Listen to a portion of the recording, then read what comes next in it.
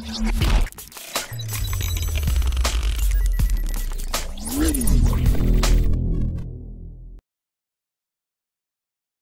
Friends sports பத்திரம் செய்திகளை உடனுக்குடனா தெரிஞ்சுக்கொள்ள நம்ம தமிழ் கிரிக்கெட் சேனலை சப்ஸ்கிரைப் பண்ணுங்க. இந்திய கிரிக்கெட் அணிக்கு பாகிஸ்தான் கிரிக்கெட் அணியின் வேகப்பந்து வீச்சாளரான சோயப் அக்தர் போல ஒரு மிகச் சிறப்பான வேகப்பந்து வீச்சாளர் ஒருவர் கிடைச்சிருக்காரு அப்படின்னே சொல்லலாம். அது பத்தின முழுமையான விவரத்தை பார்ப்போம். தற்போது இந்திய அணி மேற்கிந்திய தீவுகள் அணிக்கு எதிராக மூன்று டி டுவெண்டி போட்டிகளை விளையாடுறாங்க. இந்த போட்டி தற்போது அமெரிக்காவில் நடக்குது.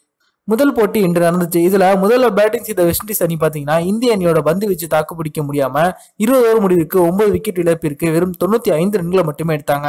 இந்திய அணியில சிறப்பா பந்து வீசின இளம் வேகப்பந்து வீச்சாளரான நவதீப் சைனி நான்கு ஓவர்களை பந்து வீசி வெறும் பதினேழு ரன்களை மட்டுமே விட்டு கொடுத்து மூன்று விக்கெட்டுகளையும் கைப்பற்றினார். அது மட்டும் இல்லாது அவர் தன்னுடைய கடைசி ஓவரா இருபதாவது ஓவரை வீசும்போது அந்த ஓவரை மேடனா வீசி அசத்தினாரு. இவர் மேற்கிந்திய தீவுகள் அணியின் முக்கியமான பேட்ஸ்மேன்களான பூரான் ஹெட்மயர் பொல்லாட் போன்ற அதிரடி ஆட்டக்காரர்களை ஆட்டமிழக்க செஞ்சாங்க. தன்னுடைய முதல் சர்வதேச போட்டிகளிலே மூன்று விக்கெட்டுகளை வீழ்த்தின இவர் தற்போது அனைவரோட கவனத்தையும் வீழ்த்திருக்காங்க இந்த ஆட்டத்துல இவர் வீசின பெரும்பான்மையான பந்துகள் நூத்தி ஐம்பது கிலோமீட்டருக்கு வேகமா இருந்துச்சு அப்படிங்கிறது குறிப்பிடத்தக்கது. இதனால தற்போது கிரிக்கெட் ரசிகர்கள் மற்றும் கிரிக்கெட் வல்ல- வர்ணனையாளர்கள் எல்லாருமே பாகிஸ்தான் கிரிக்கெட் அணிக்கு எப்படி சோயப் அக்தர் பல வெற்றிகளை குவிச்சு கொடுத்தாரோ அதே போல தற்போது இளம் வீரரான நவதீப் சைனி தன்னுடைய அதிவேகமான பந்து வீச்சின் மூலமா இந்திய அணிக்கு எதிர்காலத்துல பெரிய வெற்றிகளை ஏற்படுத்தி கொடுப்பாரு. இவர் இந்திய அணிக்கு கிடைச்ச ஒரு சோயப் அக்தர் அப்படின்னே சொல்லலாம் அப்படின்னு எல்லாருமே அவரை பாராட்டி வந்துருச்சுக்காங்க இந்த வீடியோ உங்களுக்கு பிடிச்சிருந்துச்சுன்னா லைக் பண்ணுங்க ஷேர் பண்ணுங்க. நன்றி.